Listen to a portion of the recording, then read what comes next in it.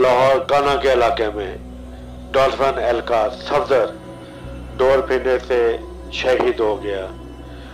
लाहौर में कोई S H O अपनी ड्यूटी सही तरीके से सर अंजाम नहीं दे रहे। हर इलाके में गुड्डी, पतंग डोर उड़ रही है और इसी तरह डॉल्फिन वाले शहीद होते रहेंगे। हर एस एच ओ को अपने अपने इलाके में ड्यूटी सही तरीके से सर अंजाम देनी चाहिए।